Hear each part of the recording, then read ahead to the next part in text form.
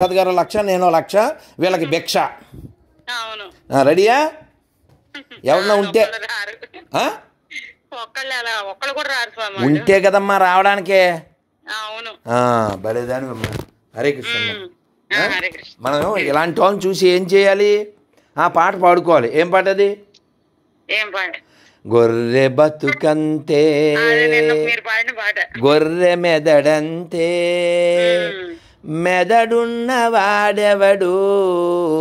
గొర్రె కాడంతే అదన్నమాట. అందుకే వాడు చిప్ ఫ్యాక్టరీ ఓనర్ వీళ్ళని గొర్రెలని ఎందుకు అన్నాడు తెలుసా ఇలాంటి లుచ్చా పనులు చేసినప్పుడు. ప్ర వీడు వీడు చేసేవన్నీ లుచ్చా పనులు కదా. అందుకని వీడు ఒక ఆజ్ఞ ఇచ్చాడు వీళ్ళకి. ఏంటో తెలుసా.